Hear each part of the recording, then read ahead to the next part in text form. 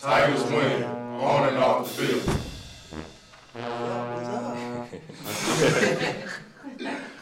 Joseph LeBoy, New Orleans, Louisiana. I'm a major criminal justice, and uh, I plan on uh, pursuing my football career as God will after I graduate. My name's Jamal Carter, senior major from Alabama, Livingston, Alabama, major in recreation Lewis medicine. McLeod, Gainesville, Florida. Uh, recreation administration major, and after um, I graduate, I plan to pursue my fo- uh, football career. Mike Hill, industrial technology major from Vicksburg, Mississippi. After graduation, I plan to jumpstart my career as an industrial technology, well, industrial engineer major. Uh, Dedrick McDonald, accounting major from Moore, Mississippi. After graduation, I uh, will be attending grad school on the sports management.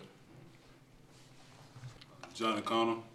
Uh, my major is industrial How technology. special is it Uh, for you to have your school allow you to be able to graduate early? I know the bank gets a chance to do so too, but not everybody gets that, uh, has that uh, opportunity. How, how special is that? uh, that's a special opportunity. It's um, an honor to be exact. There's rumors are that we're gonna have to fly out there the same day as graduation.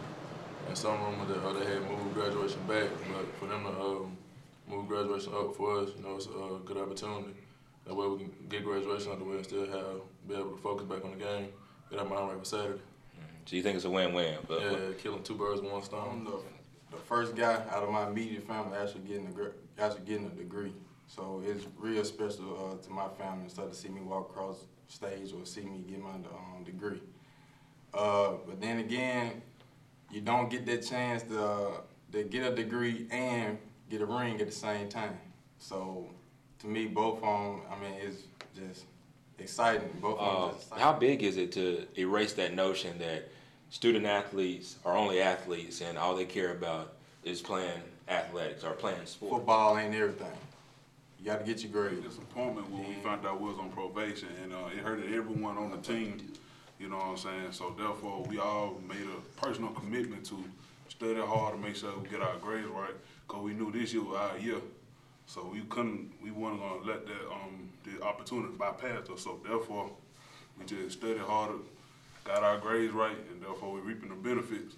So now we got to change the graduate age. Collins and the coaching staff played a, a big part. Uh, they, even though we had to miss practice, they'll let us miss practice just to get our grades right. Uh, uh, I, I thank them personally for um, you know giving us the opportunity to come to school, get a degree, and, uh, and excel from that. So Coach Collins definitely played a great part. Uh, graduated from high school, I had a one eight GPA. I couldn't go. I couldn't get into no schools, uh, no big town school. I had to go junior college route. So.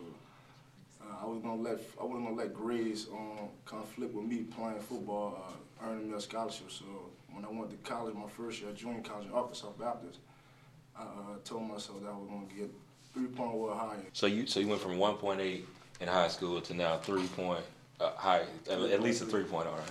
Yeah. Well, how what's it? how's that make you feel, man?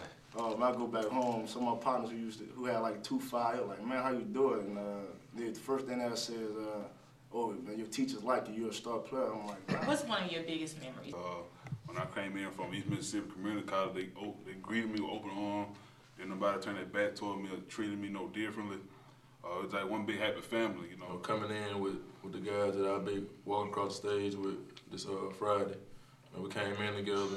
And we had to sit out our first year, whether it be grays or red shirt or whatever. But you know, we done seen a lot. We done been through a lot. You know, to be able to walk out across that stage at the same time, you know, celebrate to- together. I think that'd be a great memory. My biggest memory was is coming Friday on off the field, which is uh, graduating. I told my mom, once I get there, I'm gonna get that degree for you, Shirley. So